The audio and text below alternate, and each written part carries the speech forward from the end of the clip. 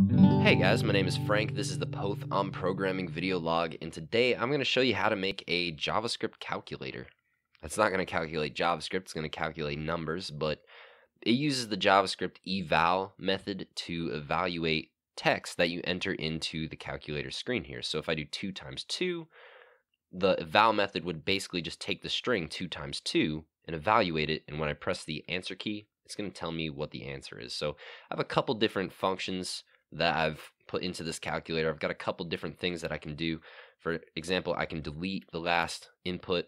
I can totally clear the input. I have a set of instructions here just because I thought it could use some instructions. Um, and the methods are all things that you'd find in the JavaScript math library. So for example, pi is just equal to Math.PI. Power would be the function to get a number to the power of something. So 2 to the power of 3 is 8. So I'm just going to jump right into the code and show you guys what went into creating this. A lot of CSS went into creating this. So I'm actually going to look at some CSS today. First thing though, before I do anything, I have to define all of my HTML elements inside of the body tags. So I have a, a, div with the ID of calculator. That's going to be my calculator div, and that's going to contain everything that you see on my calculator. All the buttons, uh, all the hidden buttons that you don't see, and the screen. So this div is going to be the calculator screen, obviously, and then I have a whole bunch of calculator buttons and it's pretty self-explanatory. I mean, you just look at it. Um, it's just a div. It has the value of whatever the button's value is. So this would be the clear button, CLR right here. Um, has an ID that corresponds to what it does, calculator dash clear.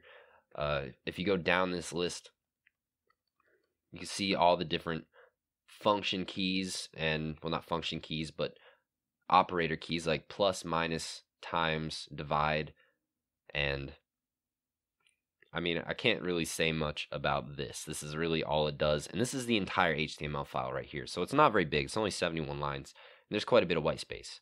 So finally, after I define all of my calculator element stuff, I come down here and I call the calculator.js script. Before I get into the calculator.js script, I'm going to get into the calculator.css. So I define some CSS variables up here for the colors of my function keys because I'm going to reuse those colors for the buttons associated with those function keys. So if I were to change uh, the F3 color to yellow, save that and refresh my screen, I'm going to get yellow F3 keys, which is kind of cool. I'm going to stick with the old version because I think it was more thematically appropriate. And down here in the bottom, or in the body, in the bottom in the body, but in the body tag, we are going to define a grid using the CSS grid box layout. And that's basically going to be responsible for placing all of our buttons on the calculator. So I'm just going to scroll through kind of slow, take a look at this. Definitely go access the source code on my GitHub page. I'll put a link to that in the description. Here is the calculator tag, and this is going to use the grid box layout to lay out all of our buttons. So the top row is just all screen. That's this right here. Then I have my functions row. I've got the Q, I've got the, the, or the question mark, I've got the clear, F1, 2, and 3.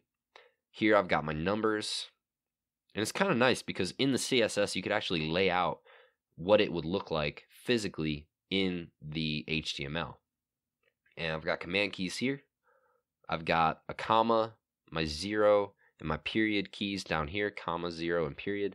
Uh, command 7 and command 8, delete and answer. So, and then just some CSS to define all this stuff. I'm not really going to get too into the CSS. I feel like CSS is one of those things that you just have to memorize I guess, and learn. There's nothing, there's no, there's not a lot of pragmatic thinking to CSS. It's more of a layout. It's kind of like, I don't know. I don't really like CSS, but sometimes, and actually most of the time, it's more useful than using JavaScript to lay everything out.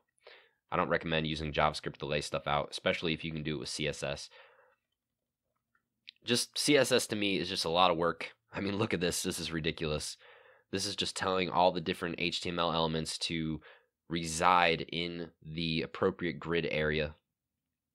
So there's a lot of stuff going on here in the CSS, but it's all the same thing. I'm just doing it over and over again to place everything where it needs to go.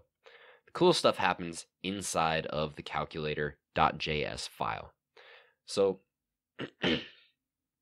how this works, I'm just going to scroll down. Actually, most of this is just getting elements from the HTML. If I scroll all the way to the bottom, this whole program is only 250 lines. Once again, as always, lots of white space and comments. So the real meat of this is inside of the update function. And the update function is only a few lines long. So all it does is it takes the value inside or the displayed value of the button you press. So say I press 3. It's going to take 3. Controller.value would be 3. It's going to pass it into this giant switch statement. Basically, the switch statement just tests to see if our value is something that we can have. And you could probably use regex for this. I don't know if this is the best way to do it, but it's the way I did it. I'm sure there's a better way. But basically, just checks to see if all these values or if the value that we entered is something acceptable. So in this case, 3. 3 is in our switch statement. So we press 3. It's going to execute this switch statement.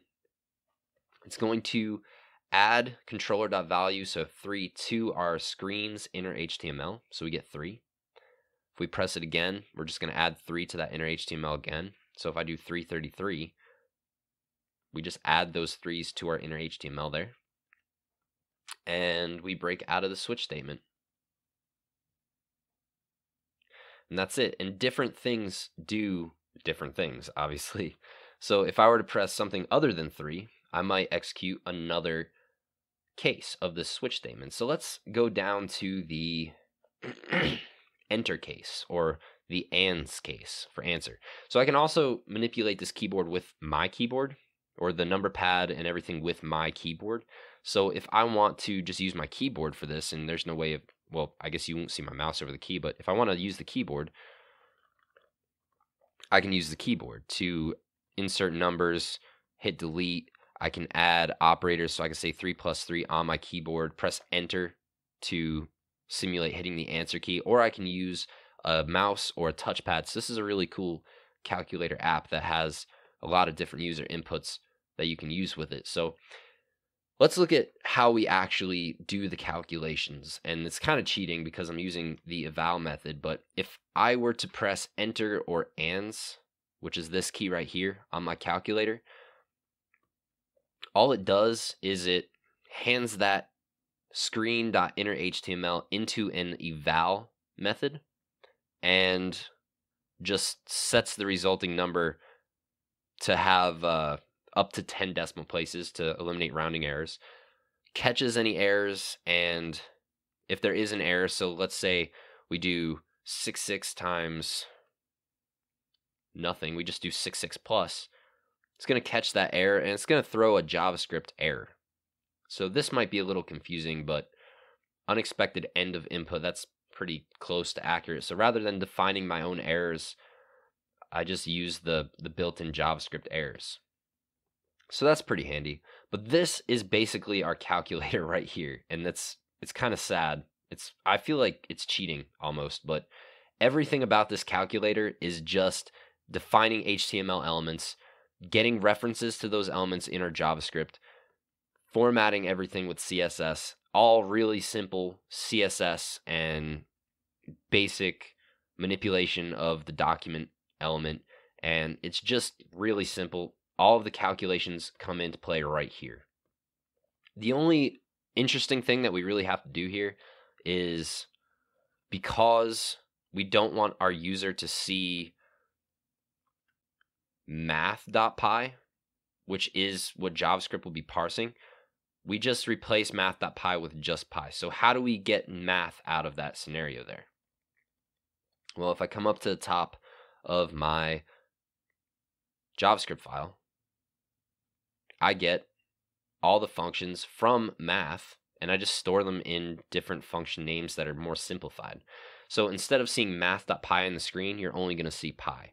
Instead of seeing pow or math.pow on the screen, you're just going to see pow. So pretty simple. And that's it. This is the JavaScript calculator. It's really, really simple. It's functional. It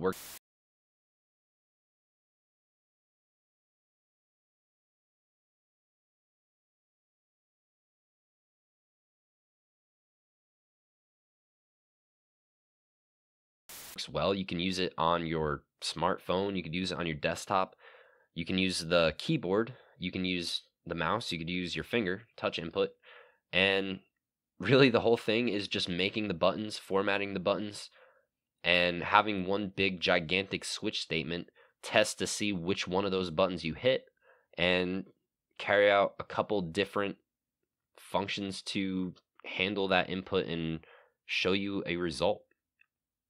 The only other cool thing that I did here was these function keys switch between these different function buttons or input buttons.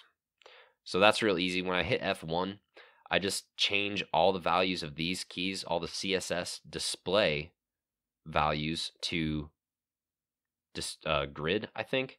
And I set all the values of these sets of buttons equal to none. So if I come up here into my UI object. I have these different functions. When I press F1, I call the hit F1 function. Um, and as you can see, I just get the button labeled with, I get the buttons labeled with the different values here. So this plus button literally displays a plus. I have that button labeled with a plus inside of my JavaScript.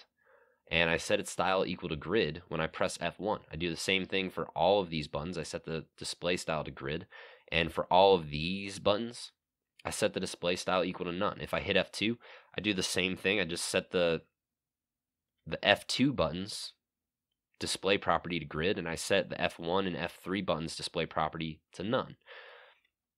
So it's really, really, really, really simple. I couldn't believe how simple it actually was when I started doing this because this seems like a really beginner thing to do, like a beginner example to do. And I've never done it before. I just thought it would be fun to do.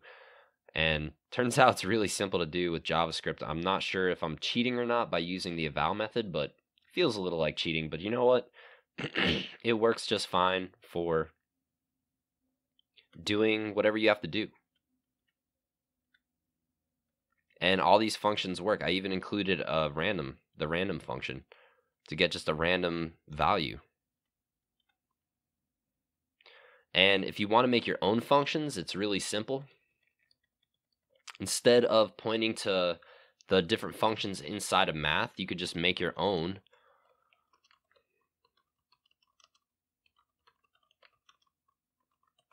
And just, you know, you just make your own math function. Pretty simple. So you you don't have to rely on math JavaScript, the JavaScript math object. You can make your own math functions if you really want to, but go download this source code from my GitHub page and fiddle around with it. It's a functional calculator and it works pretty well. And that's all I really have to say about it. So I hope you guys enjoyed the video. I hope you learned something. I didn't really go too much in detail on any of this, but I hope you guys go check out the source code and stick around for the next video. So I'll see you guys next time.